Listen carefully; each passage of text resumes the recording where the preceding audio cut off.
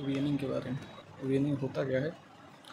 तो सबसे पहले देखते हैं वीनिंग क्या तो वीनिंग एक तरीके की प्रोसेस होती है जो चाइल्ड को मोर कई तरीके का फ़ूड को फ़ूड को इंट्रोड्यूस कराया जाता है। मोर वैरायटी ऑफ़ फ़ूड को।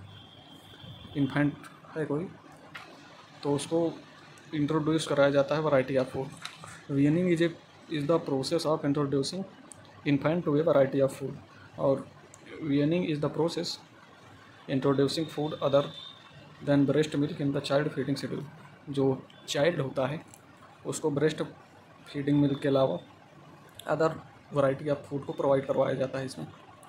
और food that introduced in addition to breast milk that are called supplementary food जो सप्लीमेंट्री फ़ूड उसको प्रोवाइड कराया जाता है बच्चे को तो तीन तरीके का होता है supplementary food liquid semi solid supplement liquid supplement, solid supplement. तो इसमें लिक्विड सप्लीमेंट प्रोवाइड करवाया जाता है, जो कि मिल्क हो गया, सूप हो गया, फ्रूट जूसेस हो गया, ये सब प्रोवाइड करवाया जाता है।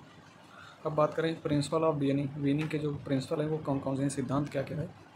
तो सबसे पहले देखते हैं इसमें only one food should be introduced at a time यानी बच्चे को एक समय में एक ही फ़ूड को प्रोवाइड करवाना है।